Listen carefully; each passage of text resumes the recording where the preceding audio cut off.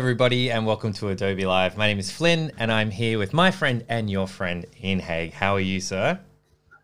Good morning. I'm very well. Thank you, Flynn. How are you? I'm very good, thank you. Um, and hello to everybody in chat. Um, we got Festus in chat and Mary. Um, hey, Steve, watching from the UK at 11:30 p.m. Uh, very good. All right. Great to great to have you. Great to have you here. Um, so we're um, we're here doing Premiere Pro stuff. We're putting the fun in Premiere Pro, making you a pro from the fun in Premiere Pro. Um, and we're we're we're in part two of a, of a four part series of learning Premiere Pro. Um, and uh, and yeah, and the last one was last week. Obviously, we've got another two to go. Um, we've got a great lesson plan kind of set out, which Ian will take us through in a, in a second. Um, but we're also very open to suggestions and questions as we're going through because we are live. So rather than just watching something on replay, you can actually ask us questions about what's going on. Um, we'll do our best to answer it. Um, and by we, I mean Ian, because he's he is the pro. um, and uh, and I'll, as I'll, I'll, just stand here and, and, ask silly questions to Ian. But um, but Ian, for those who may have missed the first episode, maybe you could give us a bit of a recap of who you are and what you do, and then also kind of segue us into what we're what we're going to be doing today. Right. Well, thank you for that uh, introduction. It's um, yes, we. I'm uh, basically, I have a little company here in Sydney, and I've been working with video for many, many years now. Um, I've lived in uh, London and Amsterdam. That's probably where I first got the, the, the video bug. And so I film, I edit, I do animation, I write little uh, scripts and so on as well uh, to, to, speed up workflow and, and uh, make things easier. So I'm just an all round bit of a computer nerd. And what I love about uh, doing video on the computer is just this wonderful amalgamation, this blend of the aesthetic and the technical. So you get the, the best of both worlds. You get to geek out with your favorite tools, but you also get to create something like beautiful storytelling and you know making an emotional connection with people. And so I think it's a, the perfect blend of those. Yeah, fantastic. And we had a lot of fun last week, and there was a lot of there was a lot of kind of questions that came up in the chat. Um, and by chat, I mean over at behance.net slash live. So if you're watching on YouTube or somewhere else, come over there, join chat. That's the one that we're that we're looking at today. Um, and so you can ask questions. That kind of helps dictate um, which direction we were going. And quite a lot of uh, what you've put together for us today was based on feedback and questions that the audience really wanted to find out about. Yeah, yeah, it's um, it's absolutely totally encourage people to jump in with questions at any time. Um, I'm I'm quite happy to to stop what I'm talking about to to go down some other sort of rabbit hole. So today's I've got a I've got a course outline which you can if you go to my website uh, ianhaigh.com then um, follow the link through to Adobe Live and it's session number two. There's a, a there's a basically a sort of an outline. It's going to be a rough outline. There's a lot there, and I don't think we'll get a chance to cover it all today. Um, but if you want to have a look at the kind of things that we'll be going over, that's where you can see the outline. Um, and there's also last week's outline was on there too, and uh, an embed of the YouTube video as well. If, if you are keen to check out some of the uh, bits and pieces from the first session. Yeah, fantastic. Um, that's awesome. Well, so I'm just going to switch over to your um, your screen now and just kind of explain, just for anyone. There's a couple of new faces in chat um, just how we kind of uh, how we usually structure everything. So we usually kind of have a part one and then a part two of today. So we are here for two hours. Um, and you'll notice that there's a Q&A down the bottom left of the screen. Usually we set that for about halfway. And then at the halfway point, we can answer any questions that we haven't maybe that we didn't quite have time to tackle during during the um, during the thing. So you might want to know what Ian's favorite color is, uh, where, he, where he got his fancy haircut, um, but even even towards things like how do I get started um, working for you know working on ads or how do I you know what kind of work do I need in my portfolio? There might be something that you want to ask Ian that's not necessarily related to the course structure, and that's kind of a time that we set aside to focus on anything like that before we jump in to part two. So that's what's going on there. Thank you for uh, for being here with us, and I'll stop talking and let Ian take it away. Oh, thank you. So um, I just wanted to give, if, if anyone is interested in learning a little bit more about what I've done and that might inspire some questions, uh, you can go to uh, my website is ketchup.net.au and that's basically got a, a, kind of a little overview and some of the types of work we've done, uh, self-promotion over. Awesome. Um, All right, so this is this is today's kind of very rough sort of outline, and as I as I mentioned, I think we'll be jumping around and um, making it up as I go along a little bit. But um, I thought we'd kick off today with one of my favorite um, Premiere plugins or, or effects rather. It's called Warp Stabilizer, and it has got me out of um, some pretty sort of sticky situations before. It's it's a bit of a silver bullet. It's it's it's effectively if you've ever shot footage, um, and I think the vast majority of us have shot footage and had a look at it, and it's been a bit shaky, and you know you you kind of think, how can I improve that? Warp stabilizer will uh, come to your rescue. So this is I'm, I'm basically going to use the same footage that I used last week. This is um, bits and pieces that I shot on our holiday in uh, Japan a few years ago, and so this clip I, I took just with a shallow depth of field and uh, with the intention of making a title so that this would be a backdrop and we could put some type on top of it. And it was shot on my 5D Mark II, um, which I love that camera. It's an absolute workhorse. But as you can see when I play it back, you can see that it is actually bouncing around a little bit because that's just handheld and there was no um, stabilization and I didn't have a gimbal. It wasn't on a tripod or anything. So that might be the look that you're going for. But if you wanted to smooth that out a bit, then there's a there's an effect built into Premiere Warp Stabilizer. So what I'm going to do is just in the, my window here, the um, we're going to go to the window at the top here, Workspaces, and I'll go to Effects, which is one of your built-in workspaces, which will just lay out the Premiere interface to concentrate on effects. We covered the workspaces a little bit last week. And so now that's just rearranged the panels so that I can see all of my effects up here.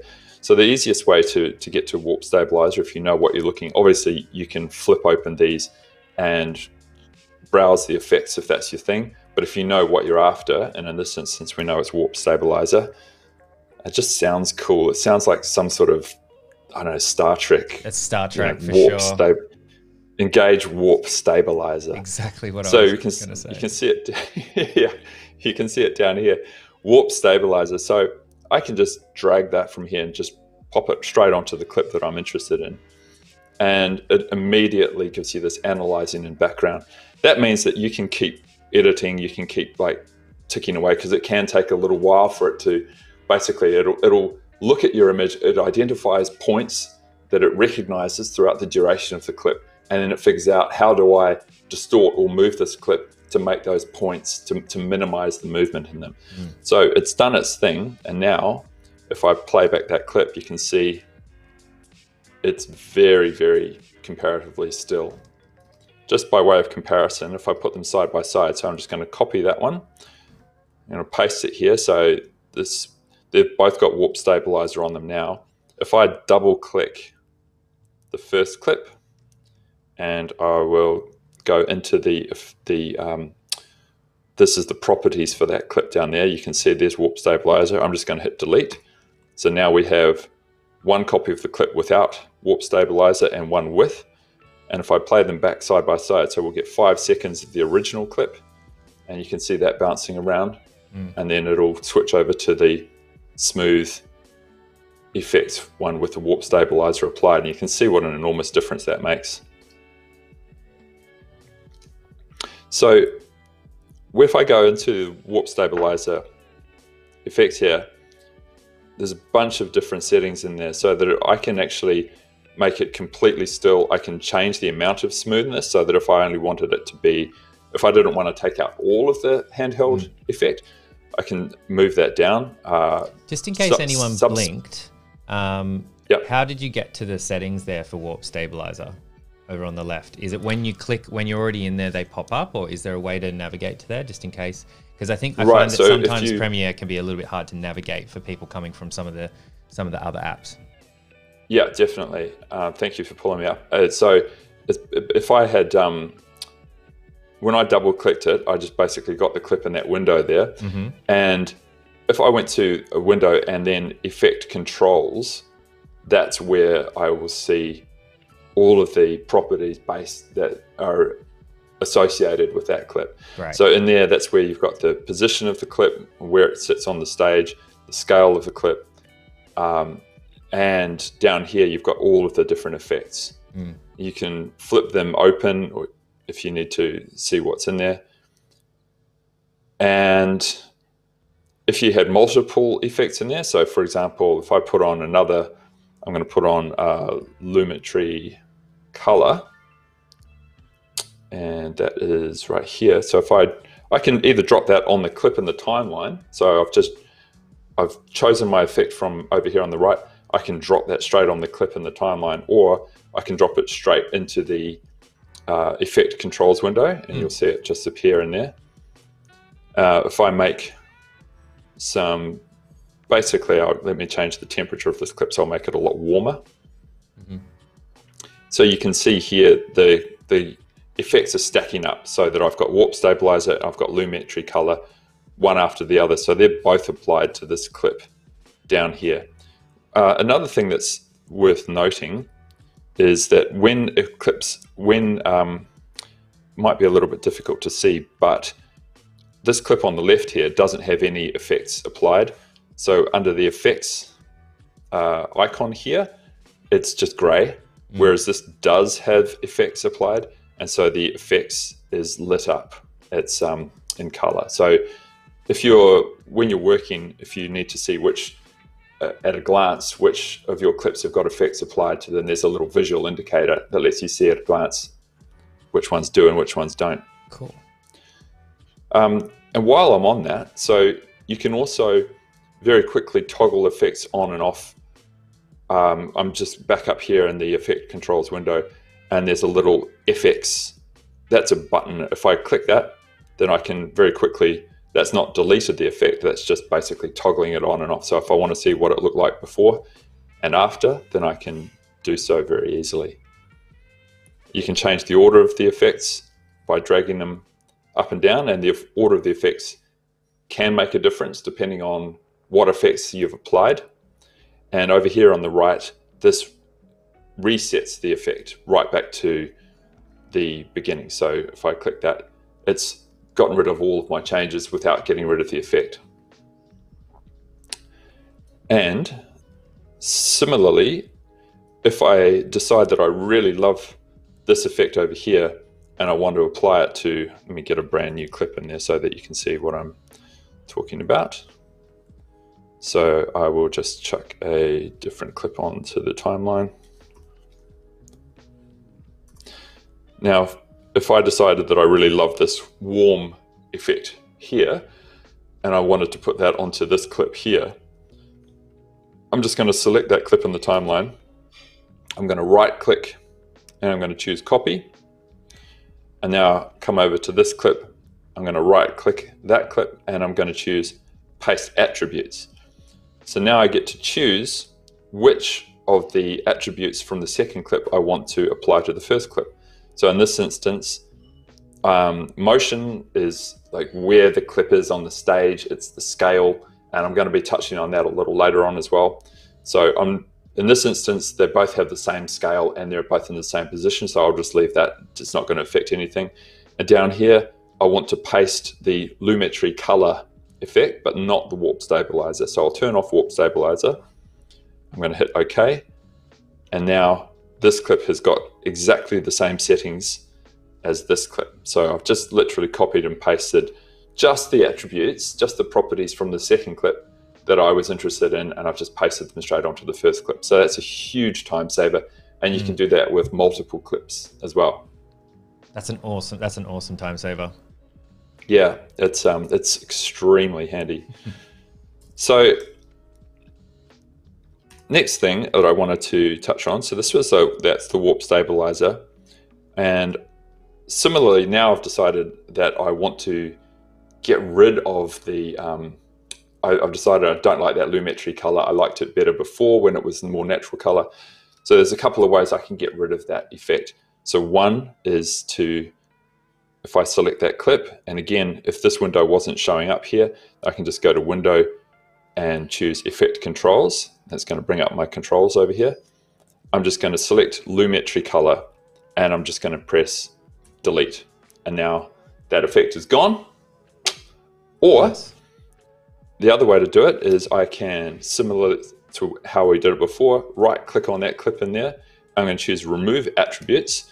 And now I can just decide which of the attributes I want to get rid of. So in this instance, I'll say, all right, I want to keep my warp stabilizer effect. I want to delete, I'm just going to delete Lumetri color and hit OK. So if I had multiple clips that I wanted to get rid of, like reset, then this is a really, you can like drag select over a bunch of them, choose remove attributes and just get really fine tuned and affect them all at once. So that's a massive time saver as well. Nice. And it's all about So- time, like time, it's like saving saving time, really, because like the more efficient you can be in this sort of thing, the more time you have to be creative. Um, obviously, time is money. Um, you Yep. know, when working on commercial sense, but also when you're learning as well. Like it's always much more fun to be using shortcuts and ha- find those time saving things. Just allows you to spend more time within the program um, to use it as a tool to, you know, access your creativity. Absolutely. And it's if you're doing something that's really repetitive and monotonous, I mean, you can come to sort of you know get bored or you know you're thinking that there's got to be a better way, and there's so often there is, and it just requires a little bit of digging, a little bit of searching, mm. and to find out that they've they've someone has already been there, someone's already kind of got there and, and found this task monotonous ahead of you and figured out a better way to do it. And I just, that is for me one of the, the great things about um, these sorts of environments that the, the they've really kind of thought about how can we take the monotony out of this? How can we make it more enjoyable and focus on, as you say, the creative side of things rather than just getting bogged down in the repetitive tasks that actually humans do very poorly and computers do really well. Yeah, Exactly. I like it. Cool. So um, the next thing that I would like to touch on is around the uh, question of titles. So this is originally, as I mentioned before, I shot this with the idea of putting a title on top, and so we can get some text on there very easily. So down here we've got the uh, our tools. Depending on the layout of your screen, they might be in a different place, but we can jump to the type tool really quickly just by pressing the T key. So no no modifiers or anything like that, just T. I've set up my keyboard uh, to be a little bit different. Let's just go back to Premiere defaults. Uh, if I press the T key, then I just get the type. And this works much like how you'd expect in a different program like Illustrator or InDesign. If I just click on there, I can start typing. I'm going to call this ice cream in Kyoto. And there's some text. So as you can see, it's put that on uh, its own track in my timeline. So that's a uh, I can treat that like any other clip. I can have that coming in later. I can put uh, I can trim it if I want to, so that that comes in and it disappears again.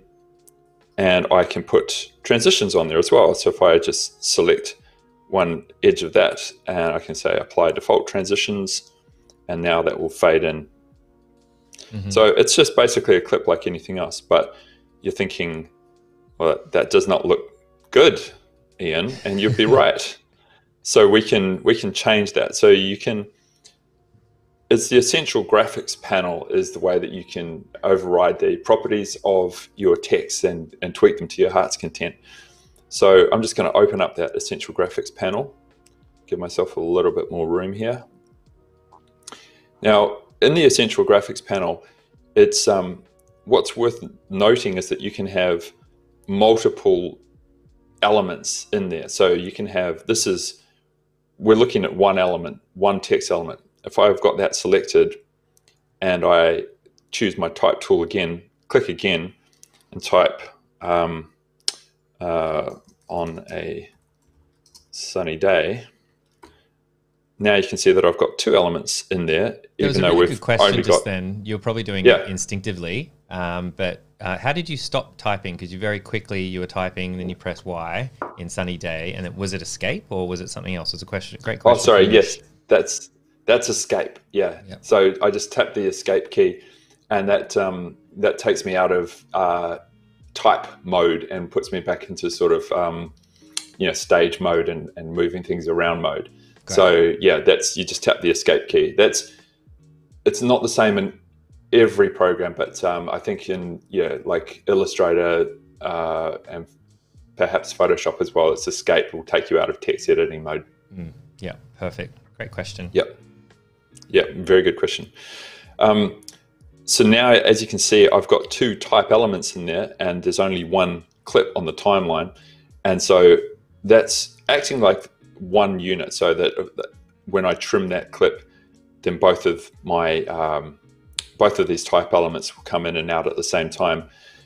I can edit them individually up here just by clicking on the relevant type element that I'm interested in right now I'm just going to concentrate on one, but it's just worth knowing that there's this is a, a, slightly different way of doing things rather than having a separate track element for every type yeah um, box mm. and that, that's it's kind of a it's an elegant way that that they've put it together because that means that you can have uh, if you had a whole bunch of different graphic elements so you could have rectangles you could have an animation on them and so on and they'll act as one clip. You don't have to select every single one individually. You can just mm. move that one clip around and put it wherever you like, or copy and paste it and duplicate it. So, but if you're wondering why it seems like there are two clips there and there's only one in the timeline, then that's you go into Essential Graphics panel and then you can edit them individually. You can turn them on and off as well with a little eyeball. And they can be different different fonts, different weights, all sorts of different. You can still edit exactly. them completely as type. Yeah. Yeah. So if I if I click on that one, Ice Cream Tokyo, I just select the text box, and now I can come in here and I can choose. Let's see here. We'll choose. Uh,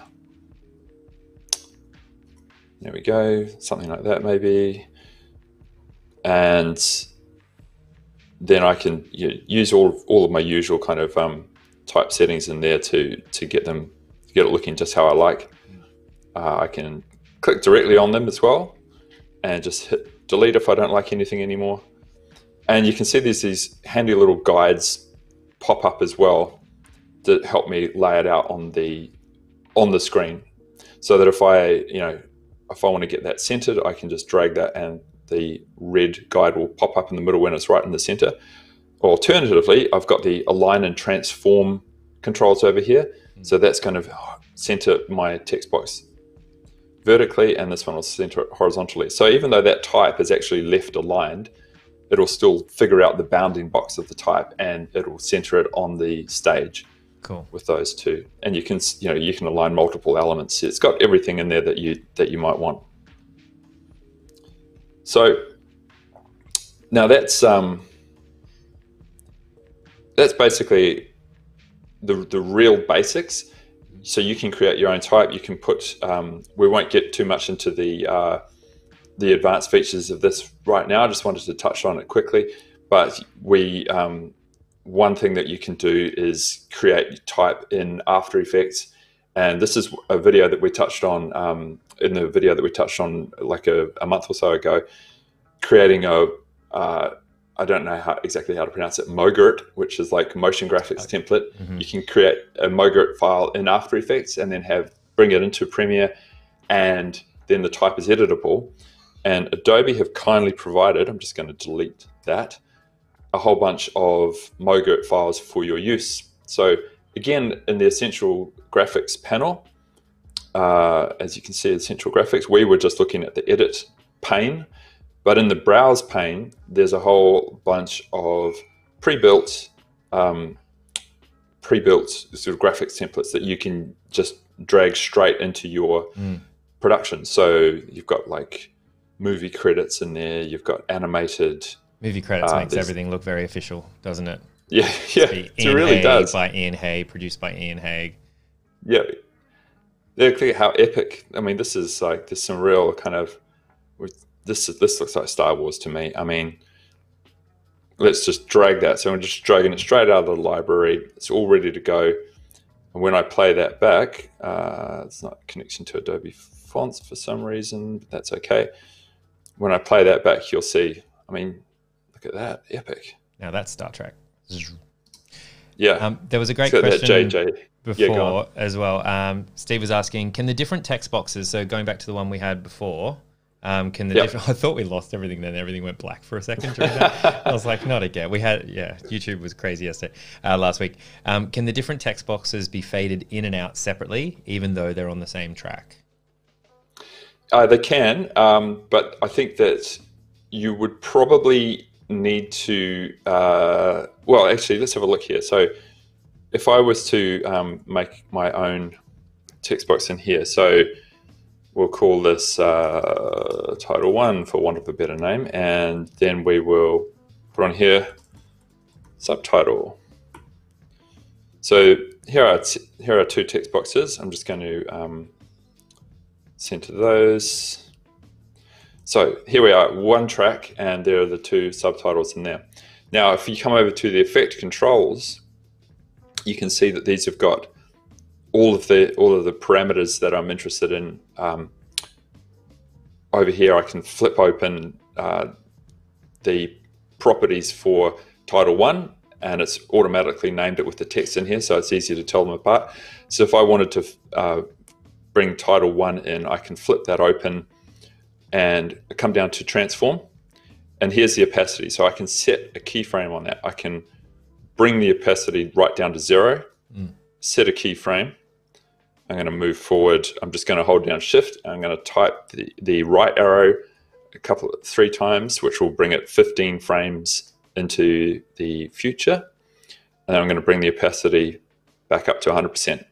So now you can see that here is, it's a bit difficult to see because it's cut, cutting off half of the keyframe, but that's keyframe one, the opacity is at zero, and keyframe two, the opacity is mm. at 100. So that's fading in.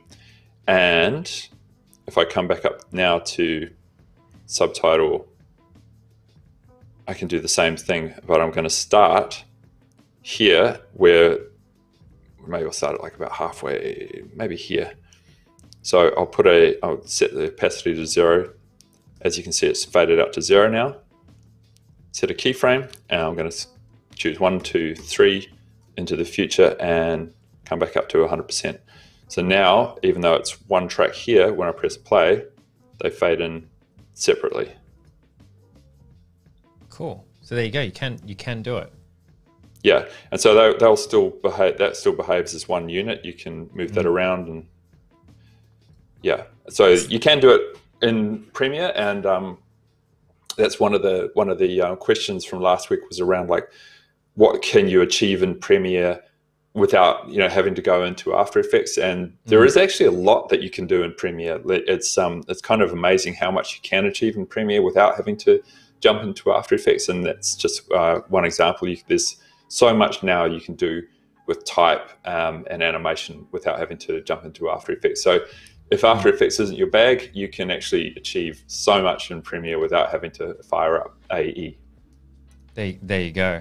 Um, there was another yep. question um, from Anthony. Thanks for covering. Thanks for covering that. Um, it was great. Mm-hmm. Um, can you convert text from image to vector within Premiere Pro? It's an interesting question.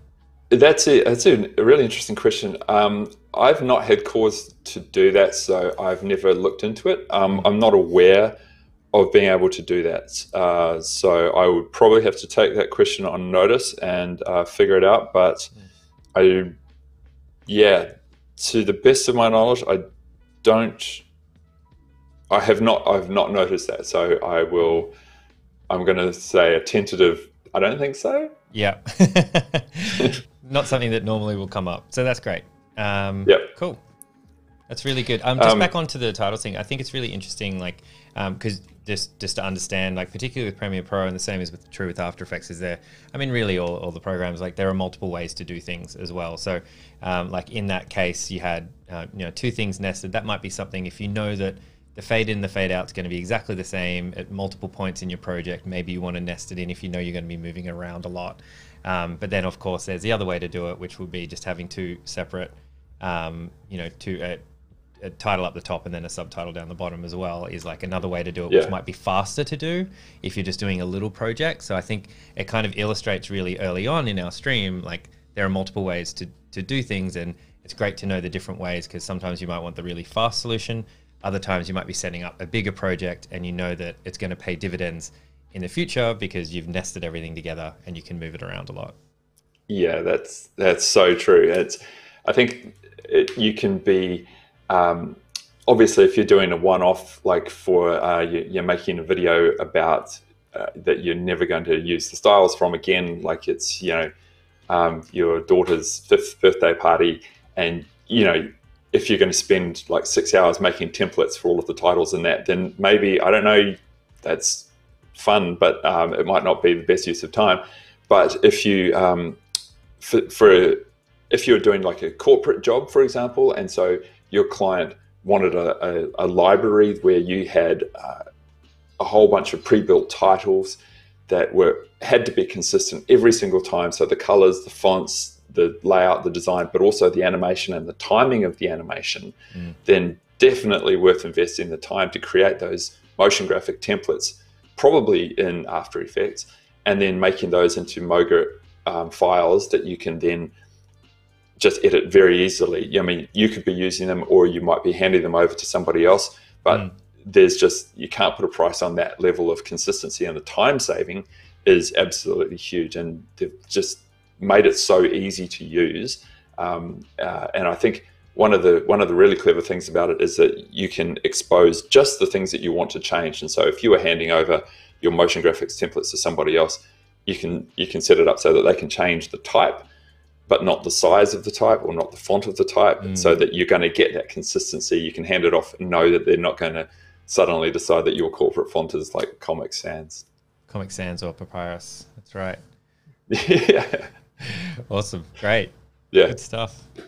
So coming back to that um, that title, this epic title, which is, I mean, yeah, I don't think there's any other word than epic. Um, if I can just basically that's that's fully editable, so that when I come in here, you can see here's a whole bunch of the. Um, you can actually see how they've put it together. So the the fonts, uh, sorry, the effects that they've used on there, um, and the text and all of the keyframes are in there.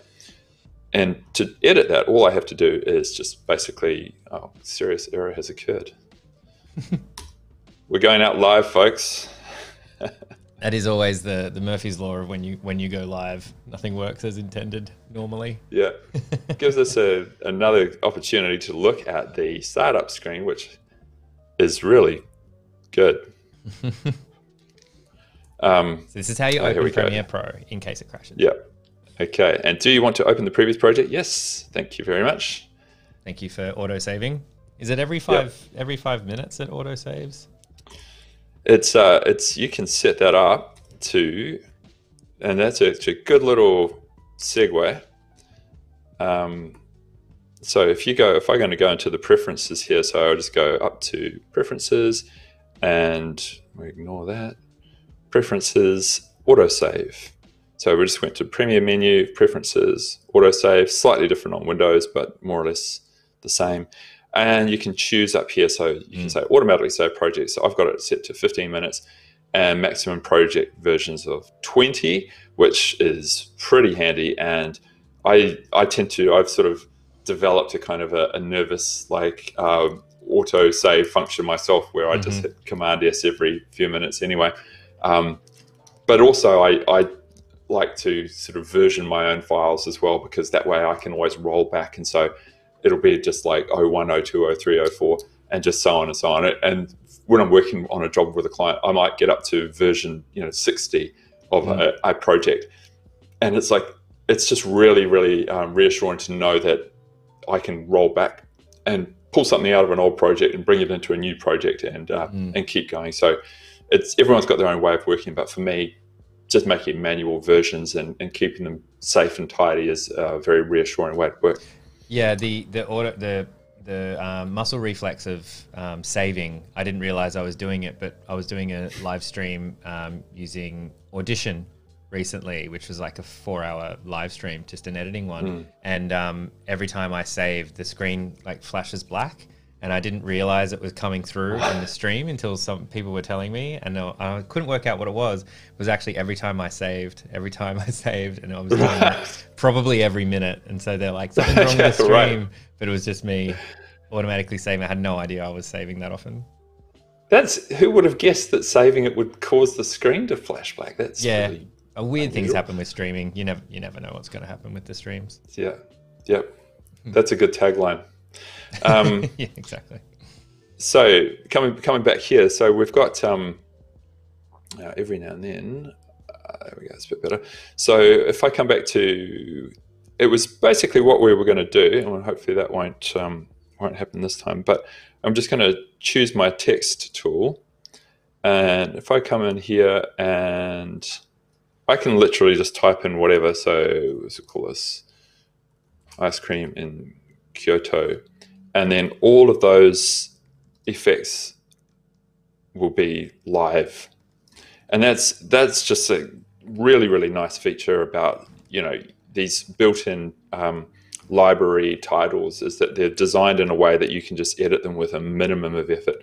If i if i come back to i'm going to choose my um, up here choose my effects workspace again go to essential graphics you can see that here's a different title i'm going to drop that into place it's automatically loaded it up.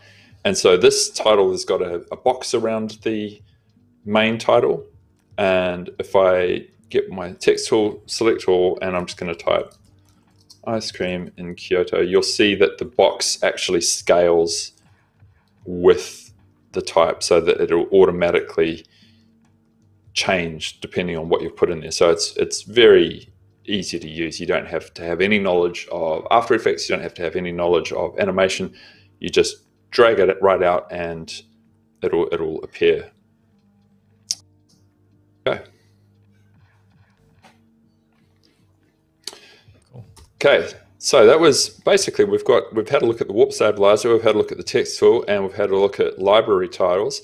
Uh, last week, someone was asking about adding narration to a mm-hmm which is which I really I love the idea of this. I have never added narration, but now I'm thinking I should go back to some videos that I've done and, and do like a director's cut where I just uh, remember DVDs where they actually had director's commentary, commentary over the top. Yeah.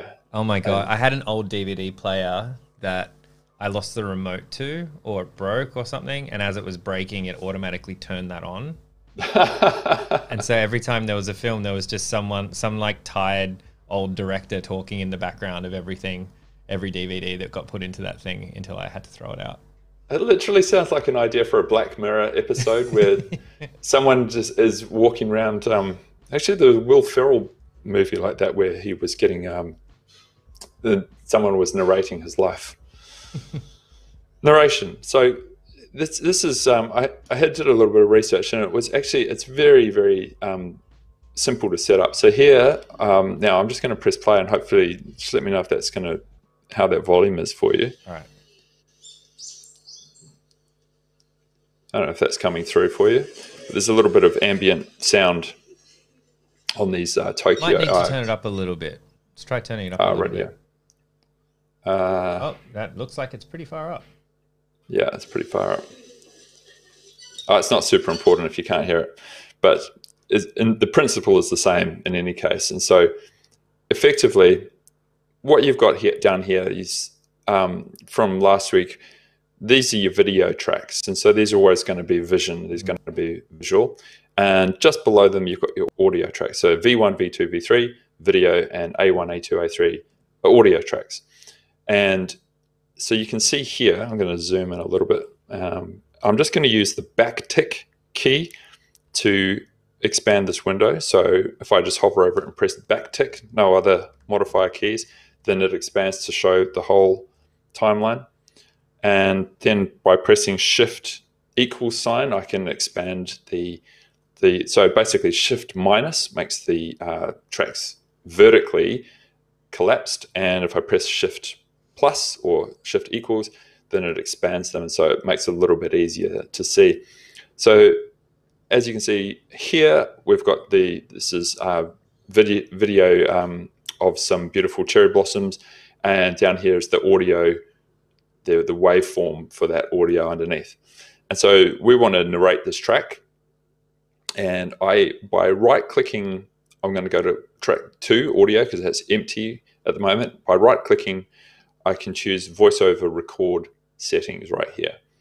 And it's really just a matter of, as you can see, it's um, it's picking up my voice right now through the MacBook microphone. You, if you were going to use a different input, then you could just choose it here. And it's going to give me a pre-roll of three seconds, which basically just gives you a countdown so that you can get ready to go.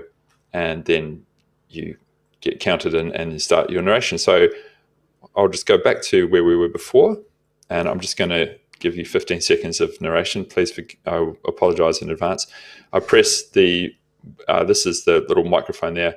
I'm just going to press that and three, two, one. Kyoto, some of the most beautiful vegetation I've ever seen. Little owls, cute little owl things, and fans. All the fans you could possibly want, plus candles.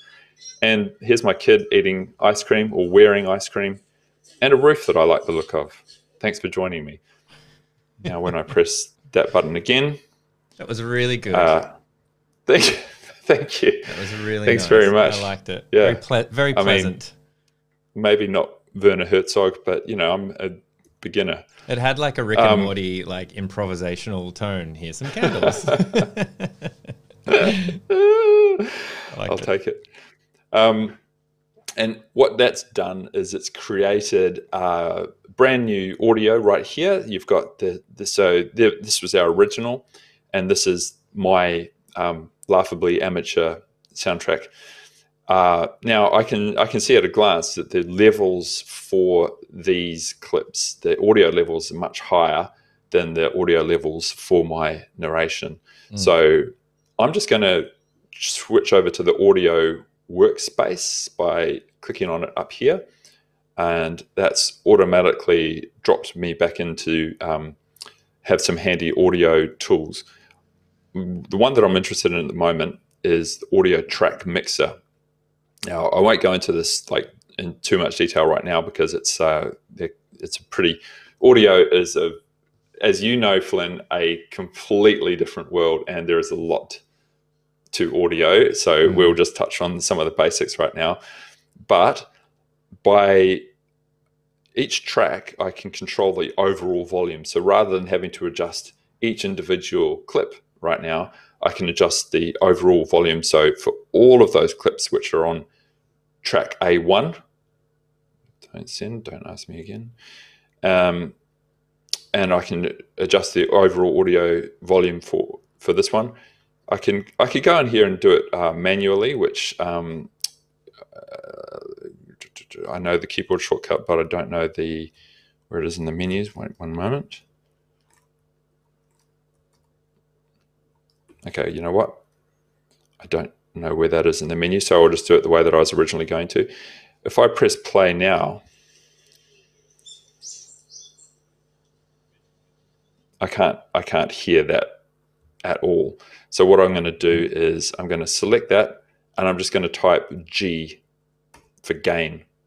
And that just brings up the audio gain I can adjust for that one clip. Nice. I can see that the peak amplitude is minus nearly minus 20. That's as loud as it gets. And given that the maximum volume that you can possibly have is uh, zero decibels, we can tell that this is actually pretty quiet. So I'm just going to say I want to maximize, normalize all the peaks. I won't make it at zero because I want to blow anyone's heads off. We'll go mm. six, for example. And what I want you to keep an eye on is just down here. You can see how these peaks in my audio file are very low. If I press OK to that, you can see now they're way, way, way higher. Mm. So that's just brought up the volume of my voice, of my narration. If you can, I don't know, calling it narration might be overstating it. Um, and if I press, you can see as well, we touched before on um, when a clip has got effects applied to it, then the effects icon changes color. So if I go undo, you can see the effects is at zero. It's um, nothing's happened to it. It's gray. If I press redo, now it's yellow. So you can see that something's been done to that clip. So again, really handy way to see at a glance what has been affected or what you've um, mm. edited on your timeline. If I press play now, still can't hear myself. So I'm going to choose the audio track mixer here. And A1 is the uh, my background noise, and A2 is the narration track. If I make this window a bit bigger, I can see audio one here. I'm going to drop down the volume of that track So I'll drop it down a lot and I'm going to boost the volume of audio 2, which is where my narration is. And we'll see how that goes. Little owls, cute little owl things, and fans. All the fans you could possibly want, now, I don't know if that's coming through for you. It is coming through, yep. Can hear okay. it much, much more clearly.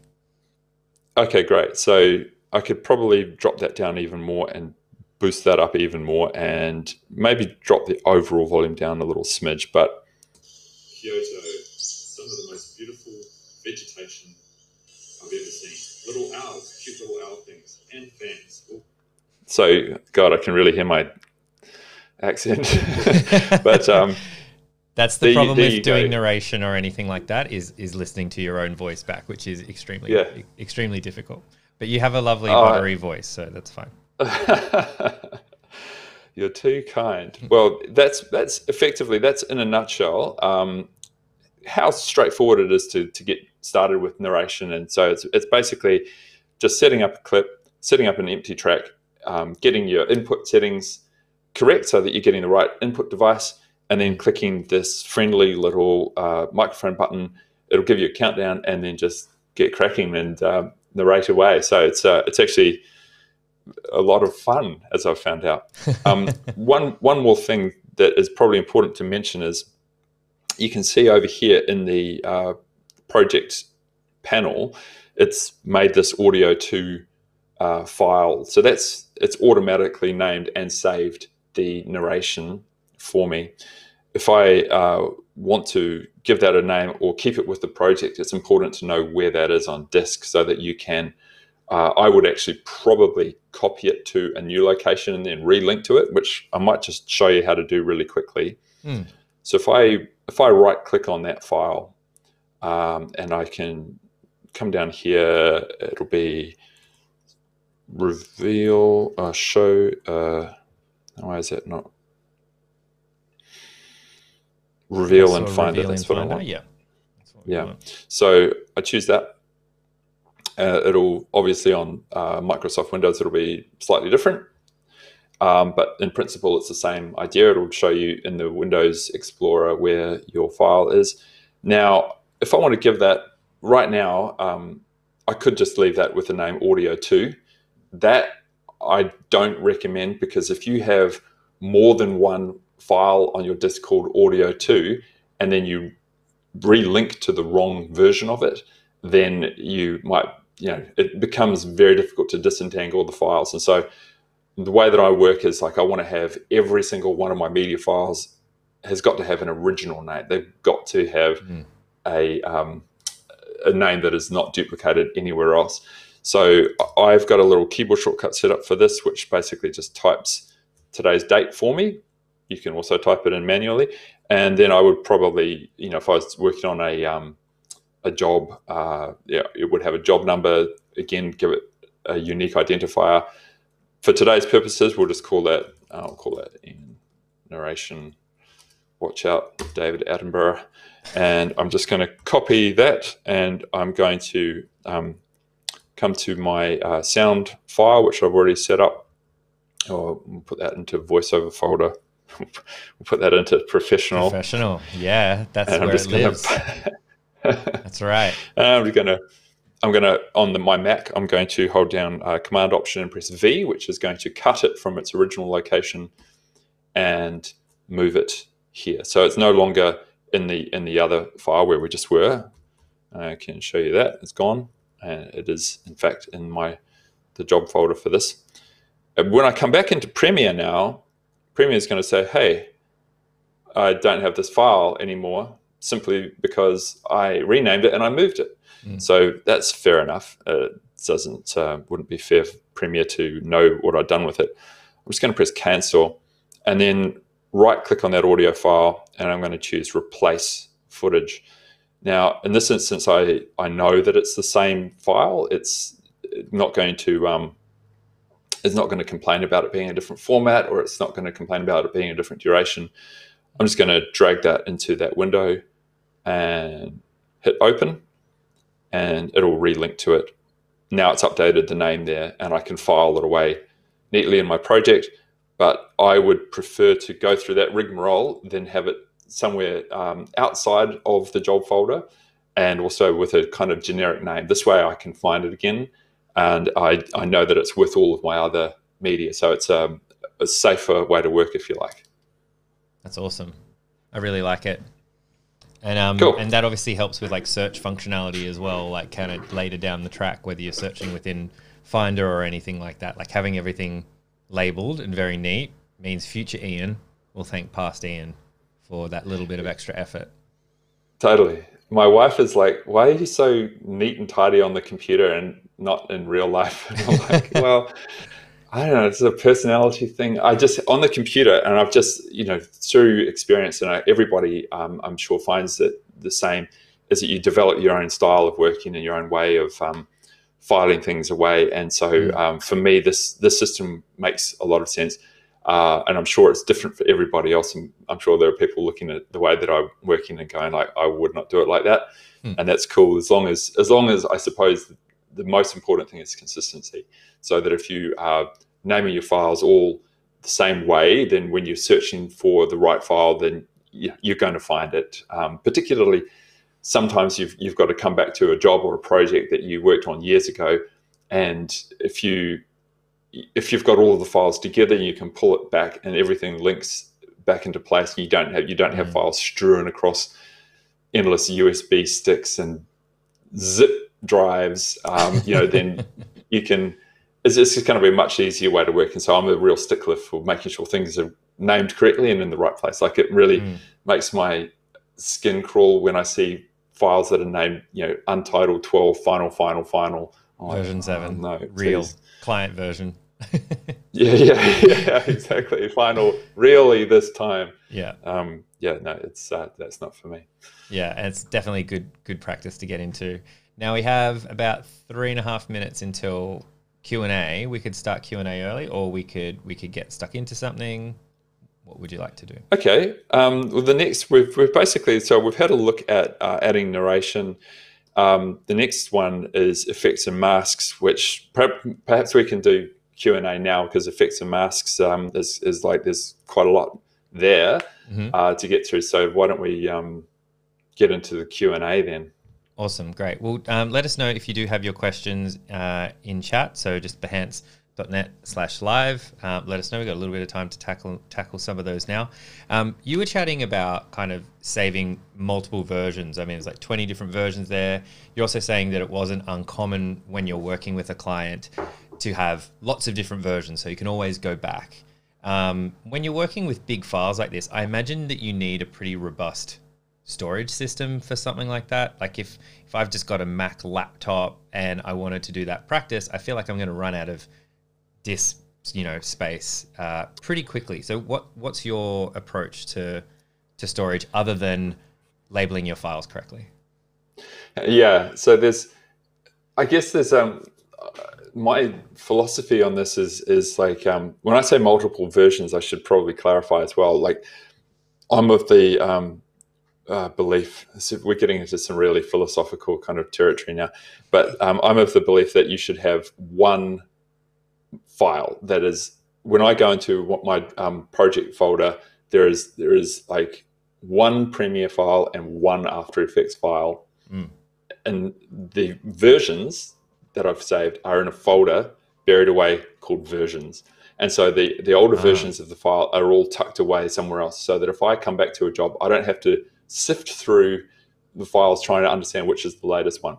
So when I make a new version of a file, I'll make the new version and I'll put the old version away so that that way there's only ever one master file. And it's just saved me so many times because uh, it's like when you get a job from somebody else that someone else has been working on and um, after effects users will know what i mean when you open up someone else's file and it is like it is like walking into a kind of um, a, a lost egyptian you know pyramid kind of thing where you're just you're trying to sort of peer through the darkness and you're trying to understand what has happened here what does it mean there are like these hieroglyphics on the walls and you've got this kind of like dim candlelight and you're trying to piece together like what what where did this come from and what does it mean and it's it's just it, it completely does your head in because there are so many ways to achieve something in a program like Premiere or After Effects. And so I, I, I think it's like for me really really important to just have that that kind of simple structure where if I open something up, I can see these are the these are the files that I need to know. These are the ones, and everything else is auxiliary to that, and it's tucked away. So it's not hidden, but it's just not obvious um, that you know it, it's in a, in a way it just reduces ambiguity, so that you've kind of mm. made it as easy as possible. Because a future version of you is just as likely as some complete stranger to be confused over what your intentions were. So oh, yeah. it's like it's like being kind to the future version of you by by signposting things and making it really obvious what you were intending to do. Mm. Um, regarding the storage thing, I think that's that's such a great question, and it's such a it's something that um, that I wanted to talk about. It's um, I think it's you're going to uh, one of the biggest bottlenecks when you're editing video is your disk uh, speed and capacity. Mm. So it's always it's crucial if you can. Um, obviously, like budget is always going to be a concern. If you've got a um, external disk to be your scratch disk, particularly if it's an SSD, a solid state drive, that is a, a really good way to speed things up. So that's basically going to give you super fast um, throughput. So when Premiere or After Effects or whatever program you're using, Photoshop for that matter, uh, it can once it runs out of RAM, it can it can read and write from the uh, SSD, and that's going to if your scratch disk is on a separate disk to your media and your project files, then that's a really a great way to work. Um, it might be uh, so you, you, can't just partition one disk and sort of say that partition is my scratch disk and that partition is for my media because that's still the same disk. It needs to be a completely separate disk so that it can be writing and reading from one disk and writing and reading on your scratch disk at right. the same time.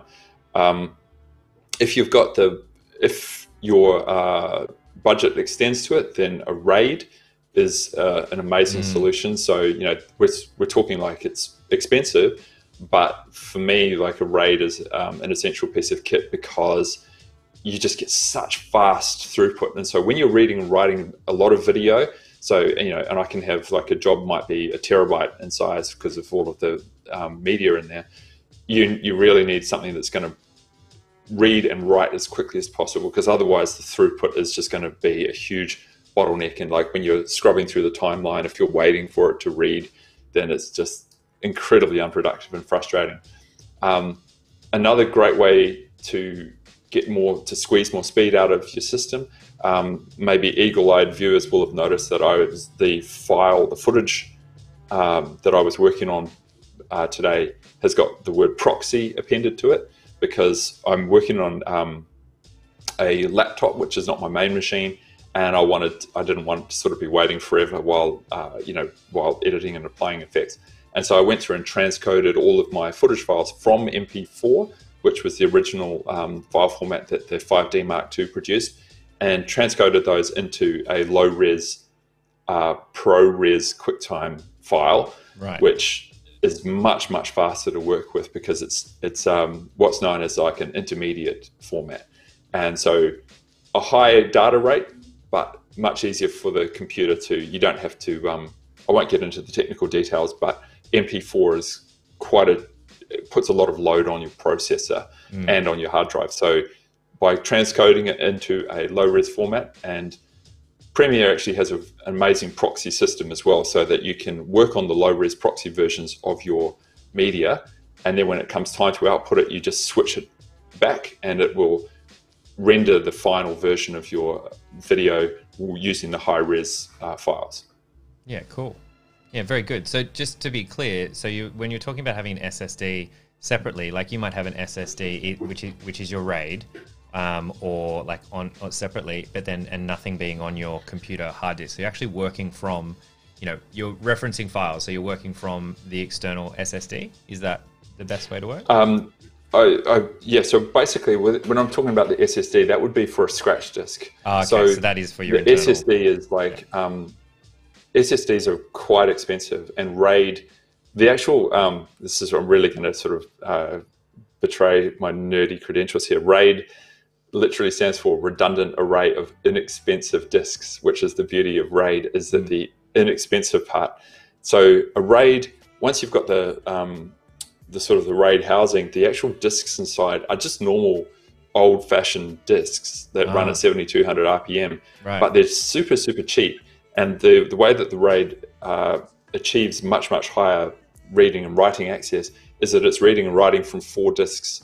In my case, four disks, or you can get like eight or twelve disks, all at the same time.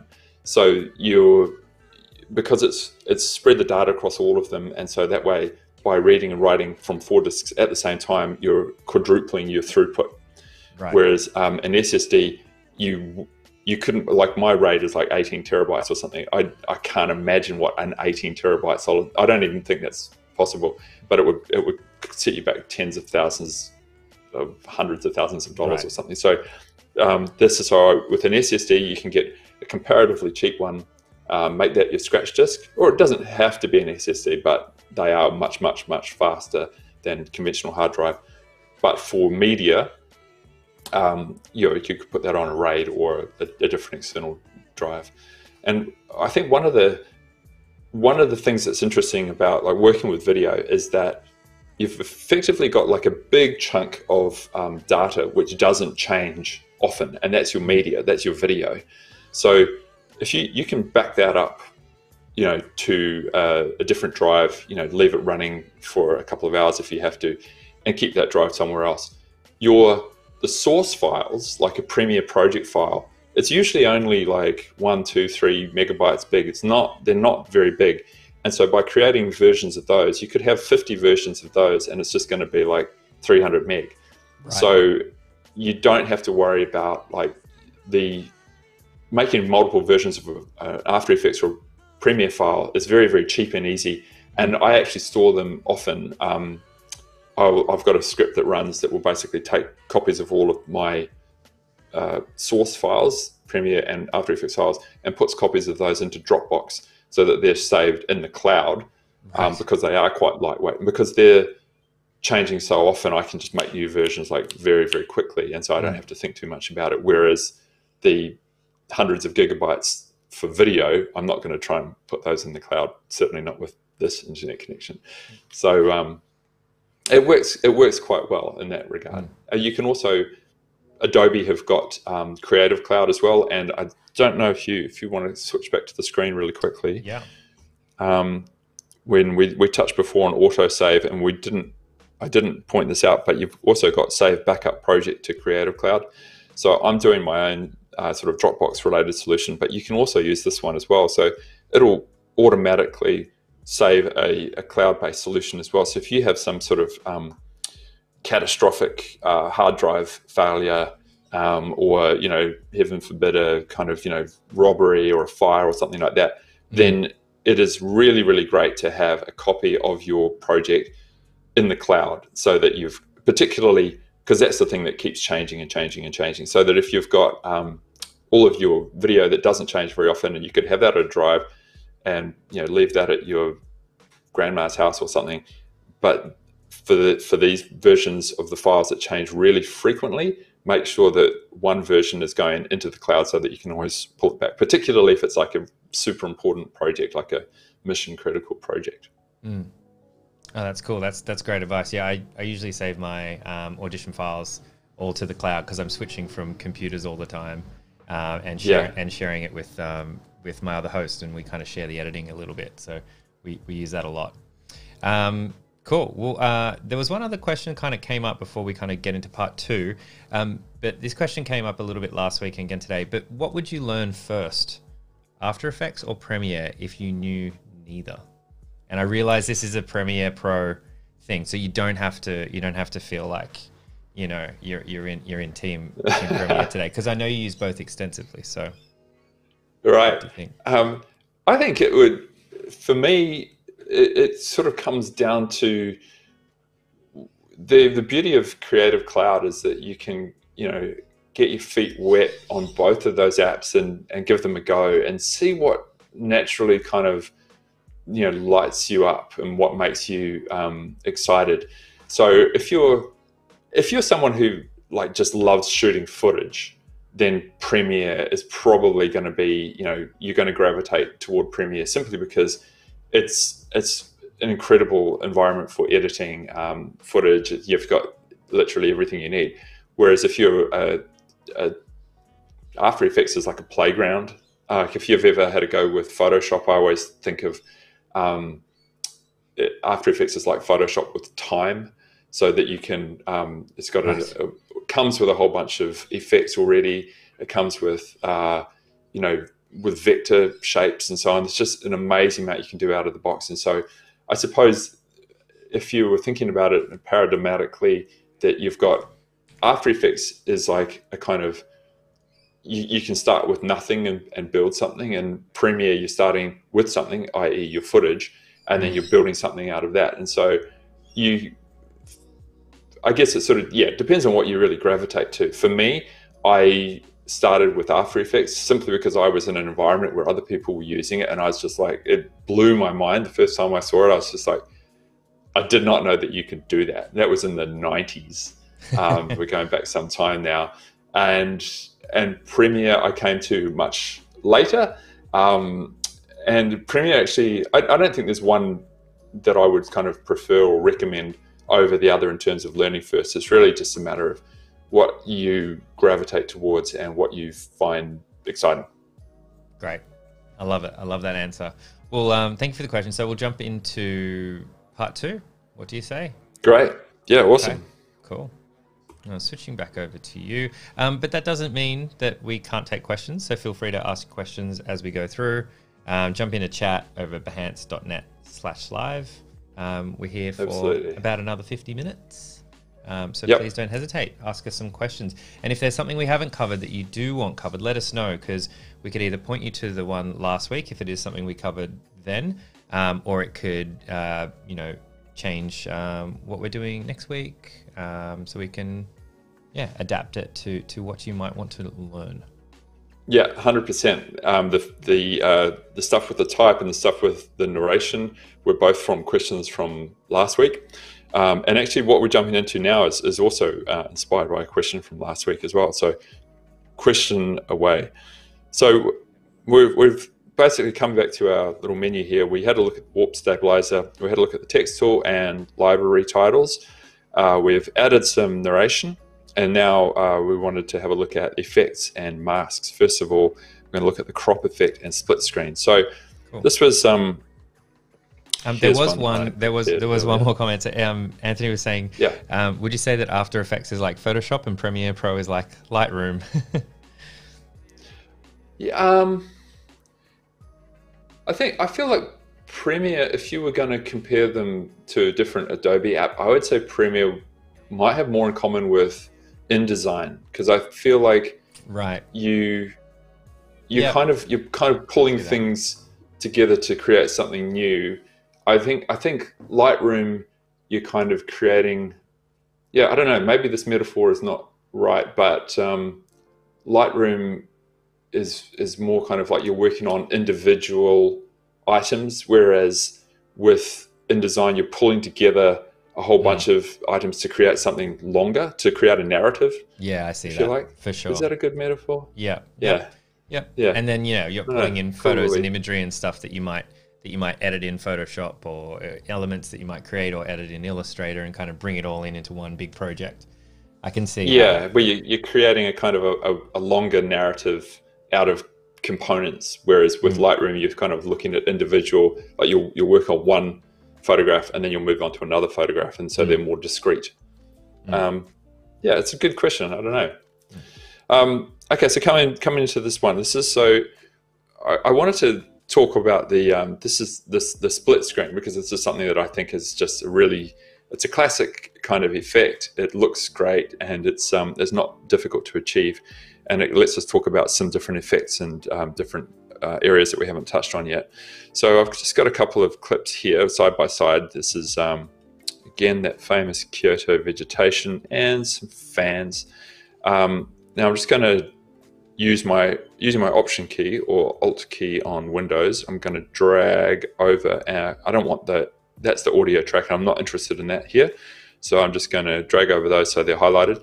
The reason I held down my Option key is if I didn't, it would choose the video as well. So in this instance, I'm just going to hold down the Option key to temporarily turn off linked selection.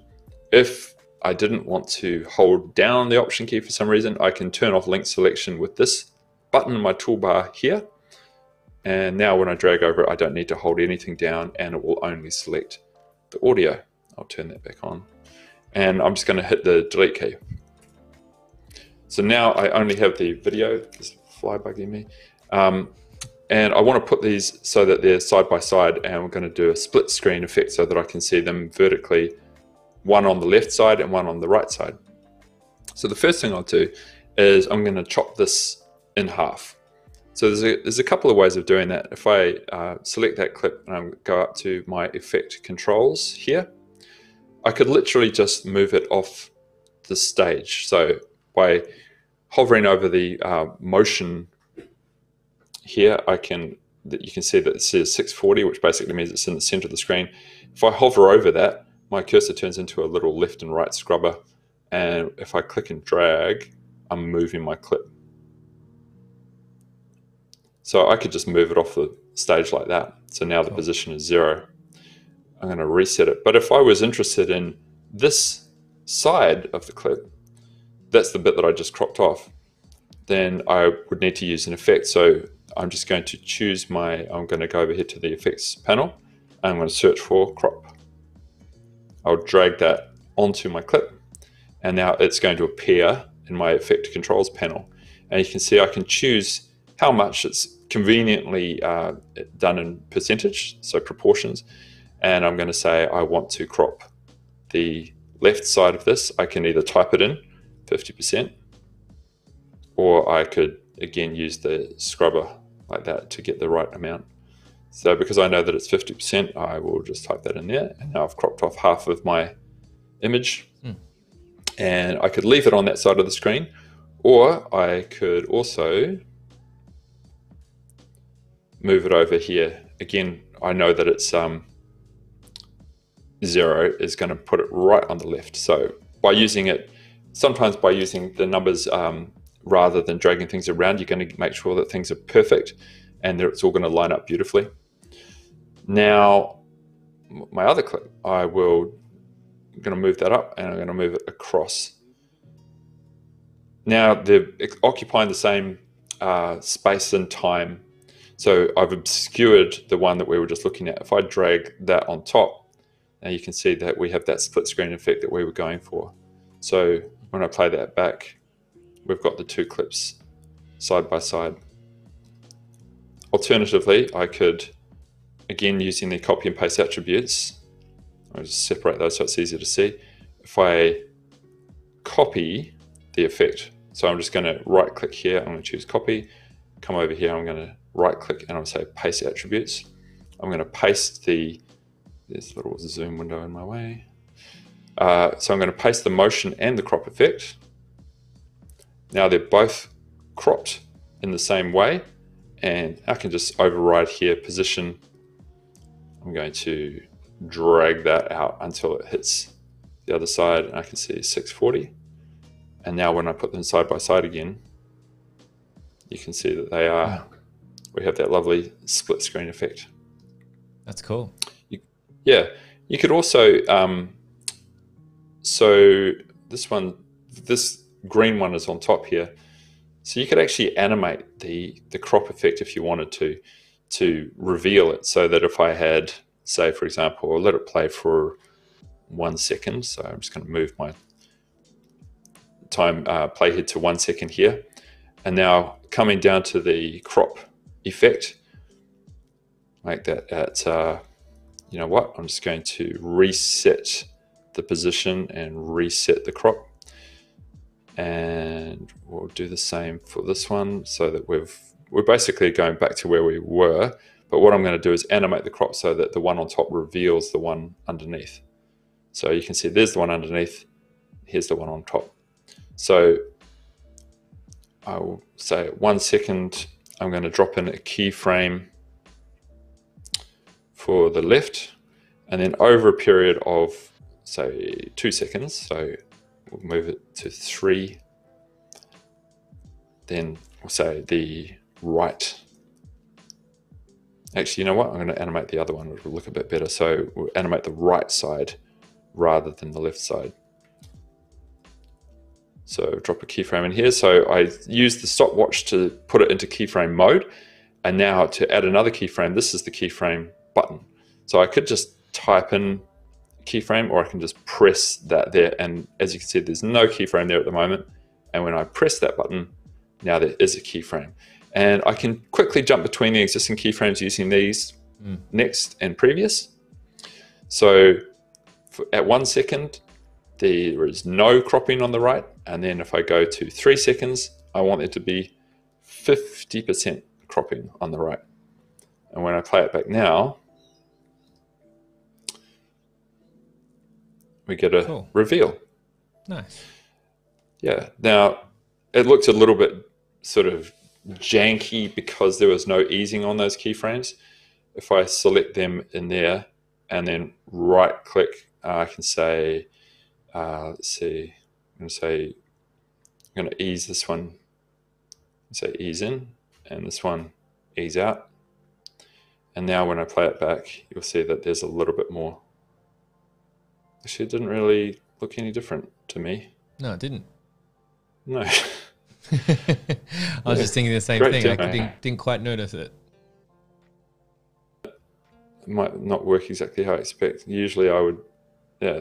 Oh, there it is. That's more like it. I, I had it. I had it the wrong way around. It seems to be different to how I would ex- expect from coming from an After Effects background. But there you go. Anyway, that's basically so you, now you've got, and this is somewhere where you don't have um, as much control in Premiere as you do in After Effects. So in After Effects, you've got uh, more control over the easing of keyframes.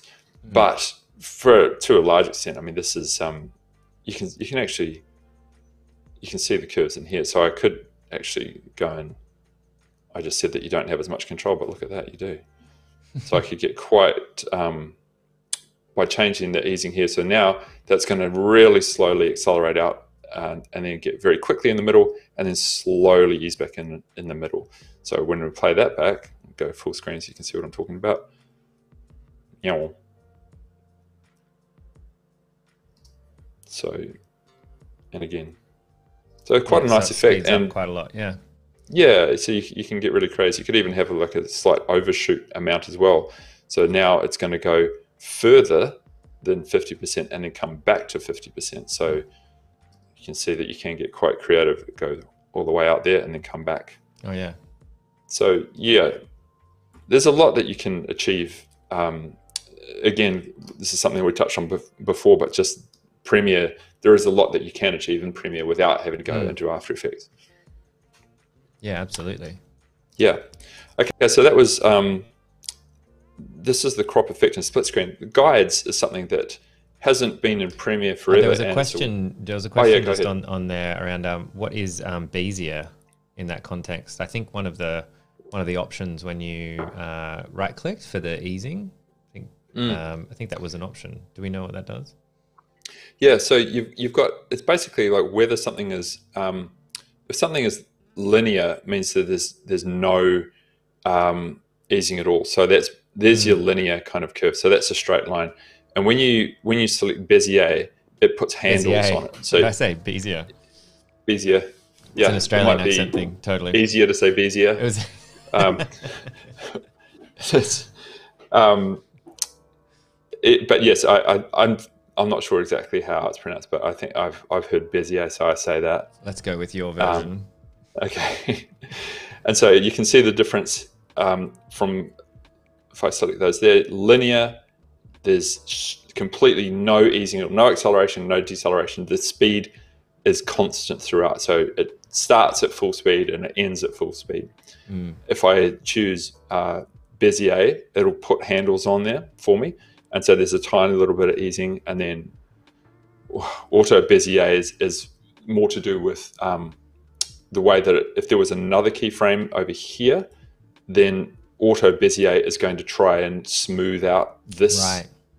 handle here. Mm. Uh, and similarly, um, continuous Bezier is going to try and keep the try and keep that that curve.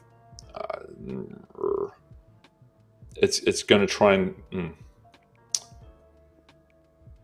it's going to try and keep the speed as constant as it can. I think that's my understanding of it. Mm. And a hold keyframe is effectively going to um, it's going to it's going to keep that value constant until it gets to the next keyframe, which is probably worth having a quick look at because it is interesting.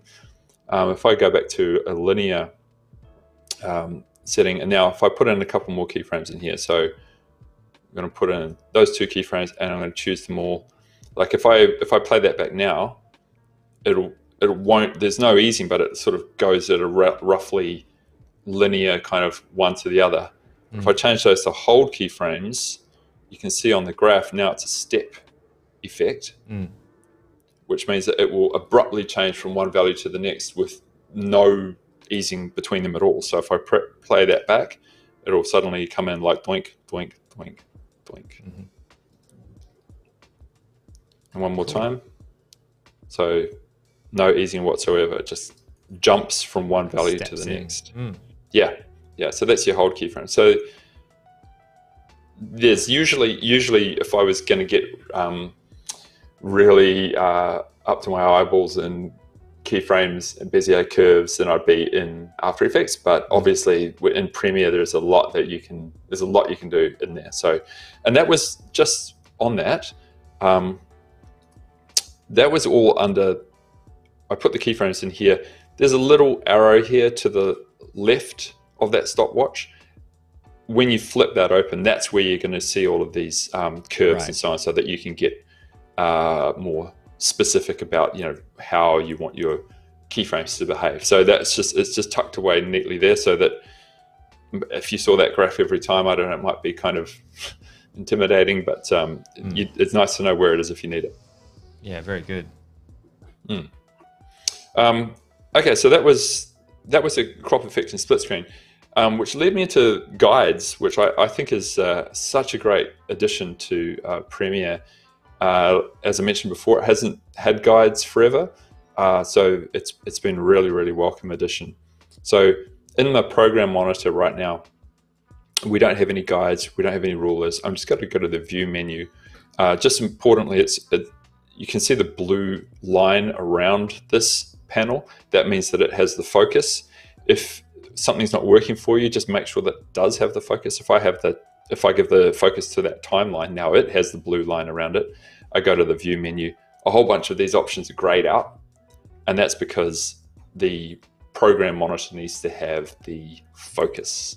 So I'll just click there on the gray bit, hit the view menu, and now I can choose show rulers. And now these pop up.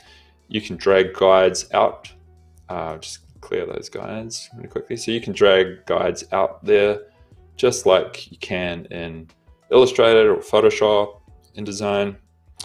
If I right click on one of these guides, I can type in an exact value. So you can actually have either um, a percentage. So I could say, okay, I, I'm interested in having that guide at exactly 25%, and it'll just jump to that point. And similarly on the left here, so 25%. Or if you know how many pixels you want the guide to be at, then um, you can type that in as well. So in this instance, I'll say, okay, I want that to be 50% of the screen, and this one will be 50% of the screen as well. And this is extremely handy, especially if you're trying to, you know, I want to visually confirm that my split screen is exactly halfway um, down the middle of my stage. I can just drop a couple of guides in, and that way I can make sure that it's going to be correct wherever, you know, throughout all of my sequences. Um, similarly, you can actually, this is a little bit advanced, but if you, um, you can con- create guides in um, After Effects or Photoshop, you can export them and you can actually import them.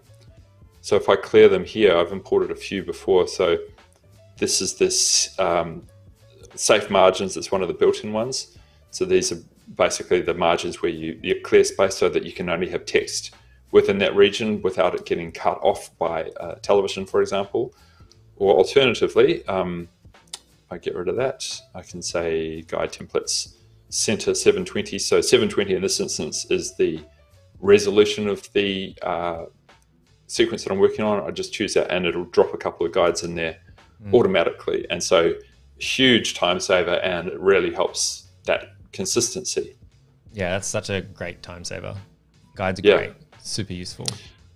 Guides are awesome. And also, um, you can have. So I'm just going to go into um, bring a new bit of footage in here. Say, here we go, and um, double click that. I'm just going to drag it into my timeline, and I can, if I want to edit where that sits on my page, if I select it there, it's not selected here. There's a one more step I need to do.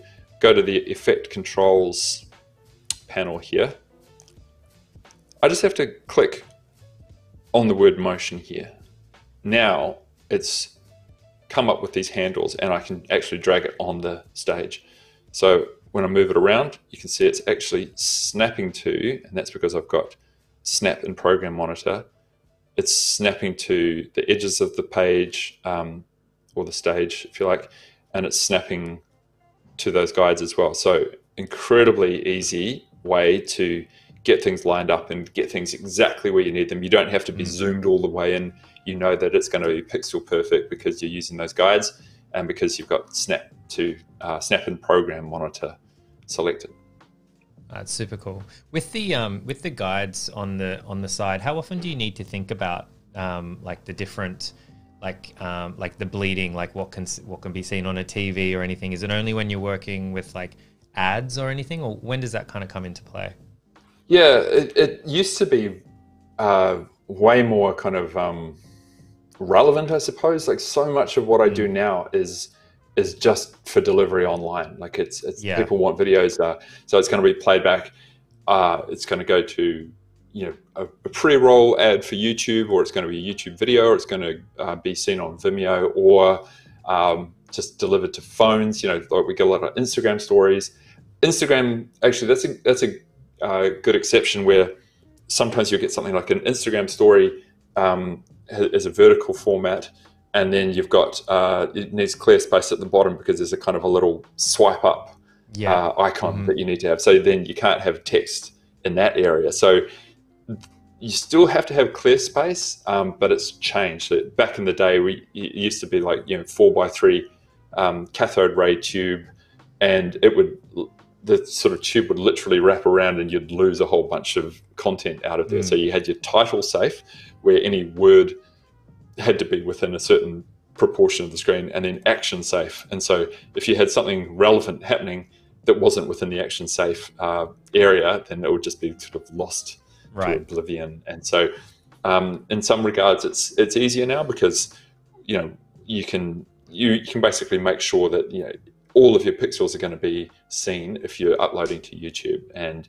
you don't have to worry about it. However, there are caveats if you're um, particularly with uh, programmatically placed ads, so Instagram or Facebook or these kinds of mm. things, and you, you, have to be aware of, of the end medium, um, what restrictions there are on there, and so those guides extremely helpful. I wouldn't be surprised if people have actually published um, templates and guides for Premiere and After Effects for precisely those purposes. Yeah, certainly. And I guess that, that's an interesting point. Like, I think even on YouTube, like in the bottom, you might be able to see here, like on the bottom corner, it's got like a little subscribe to the Adobe Live channel at the moment. Like, even just being aware of that sort of thing, you might think, oh, great, I'm going to put my logo in the bottom left corner. I'm going to put a title in the bottom left corner, but actually in the output, something's overriding that. So it's going to look really messy.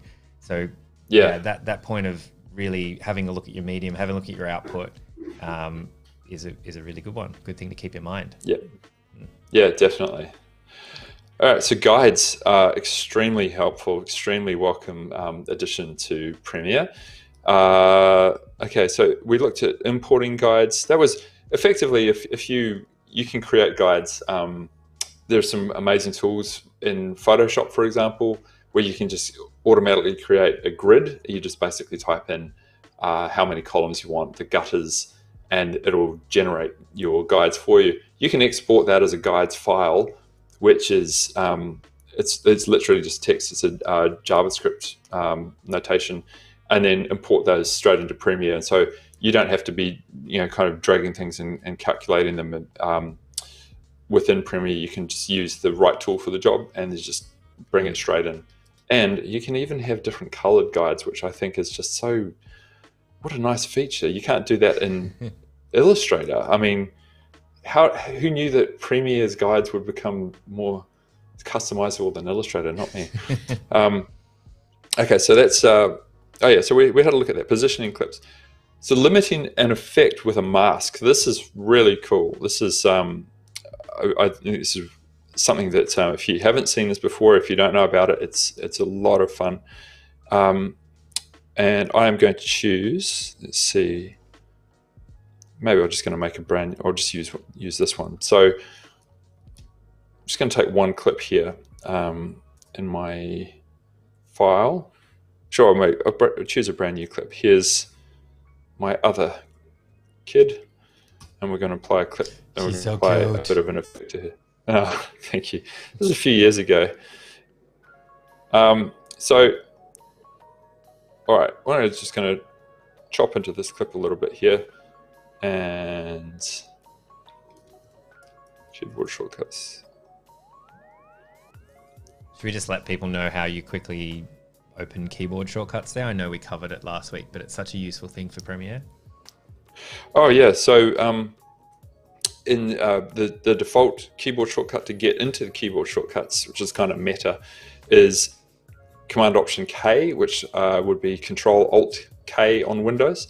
So you know, just tap that, and then you can make yourself your your brand new. I've got one uh, originally called Ian. You can call yours Ian as well if you like. Mine's called um, Ian. You too, make yeah. yourself. yeah, that's quite a coincidence. Um, and then you, you you've just it is just such a nice way to compared to how it used to be this is just such a nice way to do it so you can see immediately oh, i don't have anything assigned to the f4 key up there so if i wanted to um, you got your commands down here i can choose whatever shortcut that i want so say clip rename just drag f4 onto that and now that's assigned mm. um, so it's just an incredibly easy way to to you know go through your keyboard shortcuts, see which ones are free, and you know there's an enormous amount of customization you can do, and there's the fact that you can create your own custom set. Um, and also, we, we had a look at this last week, but it's worth bearing in mind. If you hit copy to clipboard, and I'm just going to launch up a, a text editor and press paste, here's every single command and its um, its relevant keyboard shortcut that um, that has been associated with it, so that you can just if there's a command in there, you can just search this file, see you know what's what's in there, see if there's anything that's helpful. I always like looking for things called toggle. Uh, I think toggle things are you know really helpful for some reason. Toggle, maybe it's just the word toggle, like this maybe one, toggle like full toggle. screen. Mm. I like toggle. Toggle full screen. Here's one that you can just basically, if you didn't know about that, if I hold down, and you can see it here, it's control backtick. If I type control backtick, it'll just take me straight. Into that full screen. That's a great way to learn. So, great way to learn the shortcuts as well, because we spoke about that a lot. Like fi- finding efficiency in these programs allows you yeah. to spend more time on the creative side of things rather than clicking around menus and trying to find things. Yeah, it's it's honestly, I know maybe not everyone is obsessed with keyboard shortcuts as me, but I the amount of time that that you can save um, when you discover a, if you've been doing something laboriously like hunting through menus and so on there might be a keyboard shortcut there for you. And um, when you find it it's like honestly it's like a birthday present. It's just so nice. Um, so yeah here's another keyboard shortcut. So this one i just realized i was wondering why it wasn't trimming. And this is actually something that i i'm just going to go down this little side uh, slight, slight little rabbit hole here for just two seconds. So what I wanted to do with this clip here is I just wanted to trim it, trim out all of this stuff so that it started at this point, which we can see on the screen here. And normally I would just press the Q key and that would trim all of this stuff. I was pressing the Q key and it wasn't working. And the reason it wasn't working is because these are your auto select um, buttons here. So when these are when these are lit up, you don't even have to have anything selected when you make certain edits. So if I turn on V3 and now I press the Q key, it trimmed. It did what I wanted it to. If I undo and I turn that off and I press the Q key, nothing happens. So that is what these ones are. So you've got down here on the left, this is your um, like destination. So that if I edit something, if I um, bring in this clip, for example, if I now edit that into my timeline by pressing the uh, full stop, it's that was the destination. So it went from here mm. into V1 and the audio went into A1. So similarly, if I if I but with the Q shortcut for trimming that one, I needed to have that turned on. I can turn them all on and off very quickly by pressing, by holding down the Shift key and clicking one of them, and they'll all turn on and off at the same time. So just a little side note. Nice. Okay, so if I choose a, a um, I'm going to choose a, there was a nice effect here called dot pixels. So I'm just going to drag dot pixels onto that clip. This is, um, oh look at that, I haven't typed in the serial number for it. I'm going to use a different effect, so get rid of that red cross. Okay, this one is called data glitch. And when I turn up the glitch count, you can see it sort of turns into this like super cool. Oh, oh that's crazy. that's not that's not the streaming. That's actually the effect. Thanks. Give me a heart attack over so, here. So yeah, yeah, yeah. So that's um, that's deliberately putting these kind of glitchy type um, effects onto the image, which I think makes it look kind of cool and Blade Runner-ish. Um, and you can you can play around with the settings here and make it as uh, kind of glitchy as you like. So say something about here. Now say that I wanted to have that effect, but I didn't want it to apply to the whole image. And you can see here under the data glitch effect, you've got these different controls. So these are different masks. So it's create an elliptical mask, rectangular mask, or draw your own mask. In this instance, I am going to create a four point polygon mask. When I click that, you can see it's associated that mask with this effect. So now when I go in here, I can drag over those two points I'm going to drag them out here and I'm going to hold down the shift key so that they stay on that horizontal axis. I'm going to do the same up here. Oops. And one more time. Hmm. Oops. Yeah, really is a live demonstration, folks. And then similarly, as you can see, you can rotate it as well. And now that glitchy effect, which I'll just turn up a little bit so that you can really see it's only applying to where that mask is. Cool. Yeah, so you can you can mask out part of the image, and when I play that back, it's well, maybe I could move that mask over to the other side. Actually, might look a little bit might make more sense. I'm using my guide uh, in the middle there to make sure it's half of the screen. And now when I press play, you can see it's got that cool glitchy effect only on half of the image. So that way you can you can limit an effect to um, part of your part of your clip. You can choose exactly what it is. You can even feather it as well. If I wanted it to sort of fade out over time, so turn up that feather amount, you can see it. Now it's kind of got that fading in mm. type vibe. Oh yeah, that's super cool. Yeah. Now there's a really cute puppy that I wanted to show you. We saw this last week, and it's um, so adorable. I'm going to bring it back. I'm not sure if we saw this clip in particular, but what you can do with one. masks. Yeah. Is this the one? Mm-hmm. Don't forget a little puppy face like that. so, in this instance, what I want to do is you can sort of see it's a really nice clip, but the puppy's face is a bit too dark for what we want. So, if I'm going to zoom in here, you can sort of see super cute, mm. but we want to see the puppy's face a little bit better. So we're going to use mask tracking to bring that out a little bit. Now what I want to do is I'm going to choose my Lumetri color effect. I'll just type it in here to this is the, I'm on the effects workspace, which means my effects panel is visible over here. I've just typed in Lumetri color in the search field and it's shown me under color correction, there's Lumetri color. So that's just basic, your basic kind of like um, built-in color correction effect. So if I drag that from the effects panel onto the clip in the timeline, it's going to pop up over here. Alternatively, I'm going to hit undo. Under the color workspace, if I choose that one, you will get over here, it's still on Essential Graphics, but next to that, if I click Lumetri Color, you've got all these controls here, which is actually a really nice way to to use it and edit. Mm-hmm. So right we now, we were talking about Lightroom before, and this is a lot of the things that will be going to look very very familiar for those that are familiar with Lightroom. Yeah, super. Everything in here is super familiar to anyone who's used Lightroom, or uh, if you've imp- ever imported a raw image or a, a digital negative into Photoshop. Mm. All of these controls very familiar to you, like exposure, temperature, you know, contrast, and so on. So um, this is a non-destructive way to change your image, um, to change your, your clip. Uh, you can have multiple Lumetri color effects as well uh, if you want to get focused on um, which I, I, might just I'll show you the mask tracking and then I'll show you how you can do multiple Lumetri color effects, which is really handy and useful. So we like this uh, cute puppy here, but we we think that the face should be a little bit brighter. So what I'm going to do is right now you can see I've got this effect, um, I've got this clip rather selected and under effect controls, there's no Lumetri color effect.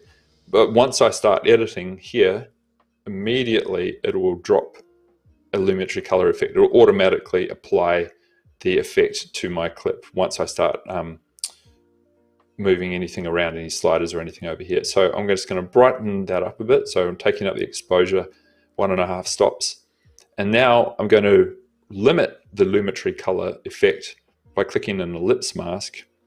It's dropped it in here and you can see that now only inside the um, ellipse is, has got that 1.5 stops of exposure applied. If I press play now, it's like a sort of spotlight. It's not, it's, it's basically in the same place and the camera is waving around all over the place and so we lose the puppy's face.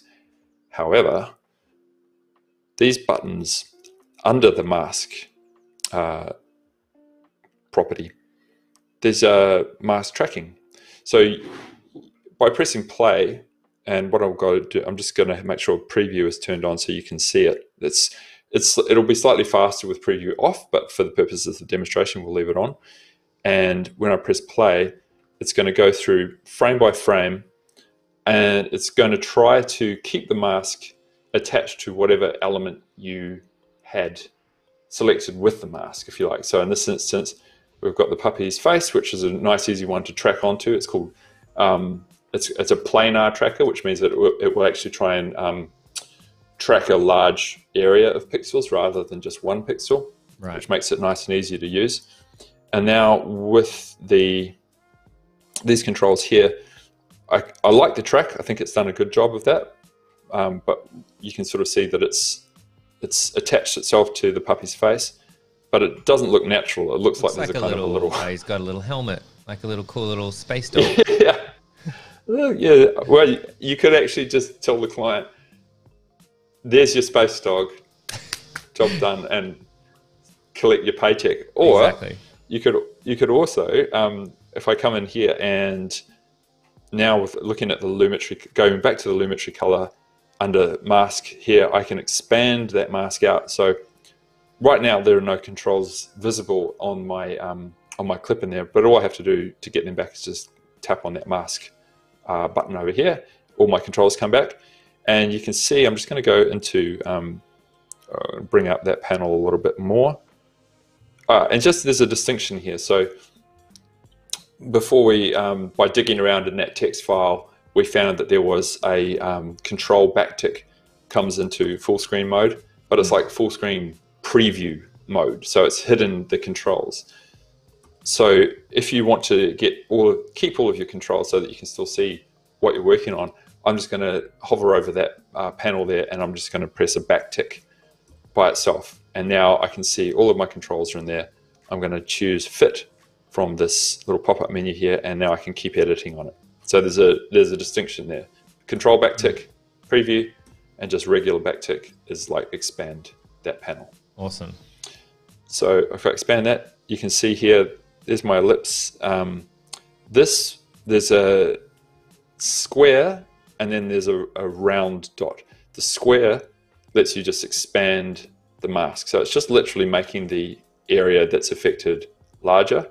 And then the little dot is that's softness. So if I drag that out, you can see I'm making the, um, the area around that mask much softer.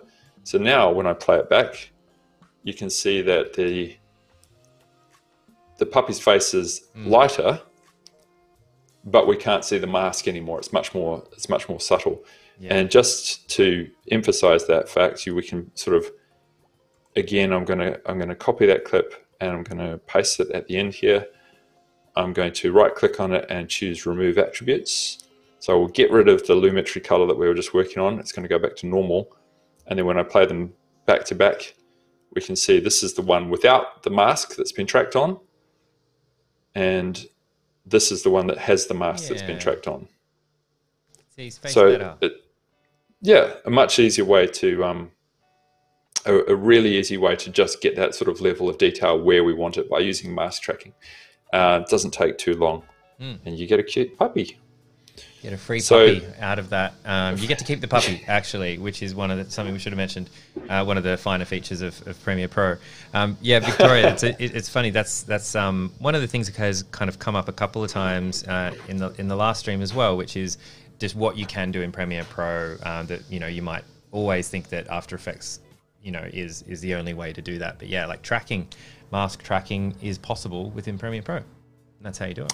It yeah, it is. It's it's incredibly um, powerful and really, um, as you can see there, it's it's not difficult. You, you just make a mask around the feature that you want, and you just press that little uh, this little play button down here, and it will track frame by frame. Now, mm. I've deliberately chosen an example that's going to be easy. If you if the element that you're tracking goes behind an object, for example, if there was um, somebody had walked in front of the camera that's a problem. Then you might have to break it into two separate parts um, because the, the tracker is going to lose the puppy's face. It's not going to be able to find it anymore. And so then you might need to break it into separate parts. But for a simple fix, something like this, then yeah, it's extremely easy and um, really efficient way of doing things. Um, so I mentioned before about having multiple Lumetri color effects on one clip. I will let so you know that we have about five yep. minutes left, believe it or not. It goes very fast. Yeah, it really does. Um, that's cool because that means I've got a whole bunch of all this other stuff for next time. Awesome. And and then some. So mm. basically, um, I think, yeah, we can sort of probably, well, we'll see how we go. But um, the multiple Lumetri color or multiple effects. So this is, yeah, that's one effect there. So in order to keep track of them, so sometimes it's it's really helpful to um, rather than trying to do all of your adjustments with one effect, you can just make a new instance of that effect or apply a fresh instance of that effect and separate them out. So this instance, we can call that, um, we'll give that uh, puppy face, puppy face. And you can see, let's put that in brackets under there. So that's our first Lumetri color effect. Now, if I come in here, I can I can go in here uh, to my Lumetri color palette. It's got puppy faces there. I can add Lumetri color effect, and it's automatically put a new one there. And now I'm editing the new one. So then I could adjust, for example, the overall exposure. I could um, bump up the contrast uh, of the whole effect, uh, pump up the highlights a little bit, and so that's mm. distinct. And so we could we could give that a name like overall and the order the order of these will make a, a little bit of a difference as well. So I'm going to do the overall. They're they're applied from the top down. So right. If you if it's like overall is here, that's going to be done first, and I think that looks a little bit more natural than doing puppy face and then overall. Mm. So we're going to make our overall effects to the entire image, and then puppy face afterwards. And as you can see, and puppy face, just as a reminder, is that mask tracked one. So I can toggle those individually, and you can see the difference. It's actually now when you turn off puppy face, it actually looks unnatural, even though that was how it was shot. Mm. Um, and so by having multiple effects and naming them so that you can keep track of um, each one is a, is a really efficient way of, of working. And it just makes it clear to you by renaming them what your intentions were at the time. So when you come back to something, I can see, oh yeah, puppy face. That's I understand what I was doing there. Mm. Um, and just on that, while I think of it as well, just one more little tweak here. This you could um, also. I'm going to choose overall for up here. The white balance selector is just that little eyedropper. I'm just going to drag that and I'm going to click on something that's supposed to be white in my scene. This scene looks a little bit warm to me. When I click on that, it cools it down, mm. and that ought to be a little it. bit more. Yeah, so I'll just do that one more time.